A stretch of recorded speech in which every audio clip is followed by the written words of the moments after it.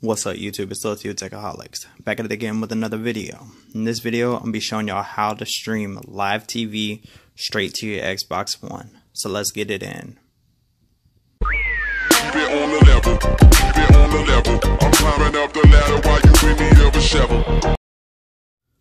on the level, keep it on the level. I'm climbing up the ladder while you bring me up a shovel. Alright, so the way this is to go is that I'm to show y'all what y'all need first on your Android side and then what you will need on your Xbox side.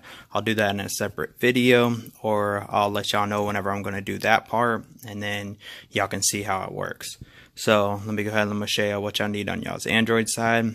So first things first is everything that you need will be in the description in case if you can't follow along with this video, I'll go ahead and I'll put it, whoop, I'll put it in, um, the description for you of what all that you need.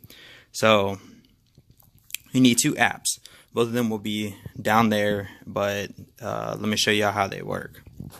So what you will need is one called Live TV Net or Live Net TV. And then another one, which y'all know I like a lot, is Bubble UPnP. All right. So with that being said, what y'all want to do is y'all want to go into um, y'all want to go into the downloads and y'all want to download these applications. So once whenever you have those downloaded, y'all need to go over to your Xbox One and I'll put the video right here.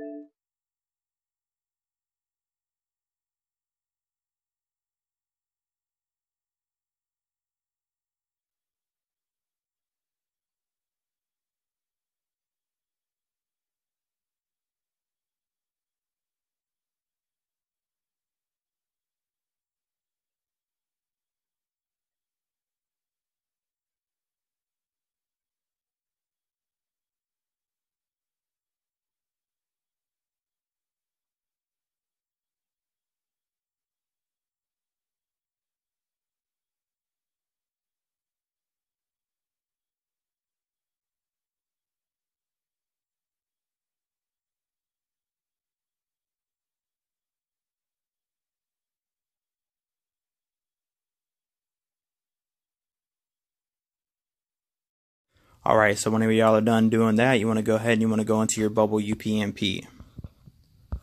So we will go into that real quick, right here. And y'all want to go to the three dashes over here on the side, click that. And then in the renderer, it'll say local renderer like this. All that you have to do is go right here and go to Kodi Xbox One.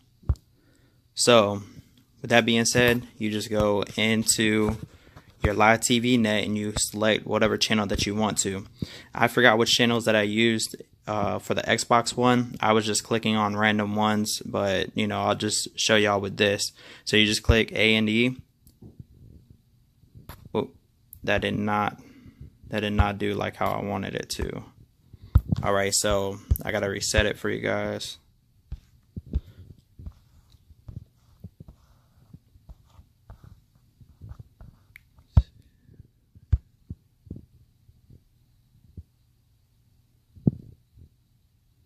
Yeah. So anyways you could just do that. You can just go into settings and go to video player and select it as bubble upnp player. But i believe that what it'll do at first is that it'll ask you yeah it should ask you to um, to select a player. But anyways just go into settings. Go to where it says video player and select bubble upnp player Now, whenever you select that and you click on it, it'll stream it straight to your Xbox, like how it did in the video. But um, I'll go ahead and I'll show y'all that video right now. Hi, Chris. Can you see us? Yeah, just keep going straight. I'm just gonna look a little bit, see if you notice anything. I think I saw stuff on my. I don't know. I smell weed around.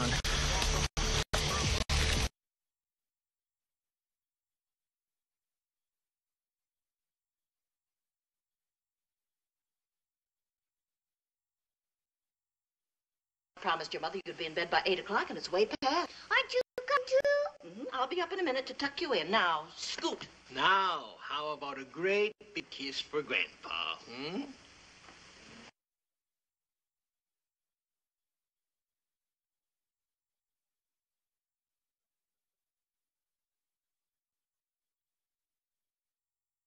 Hello,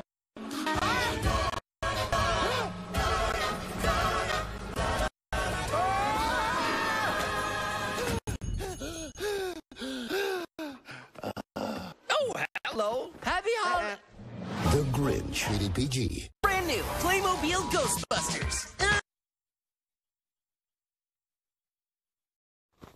So to let y'all know, it would not be that laggy at all whenever you're actually streaming it straight to the TV. It is a, la- a little laggy because I was using a PC to stream it or stream my Xbox to the PC, so there was a little lag between the two.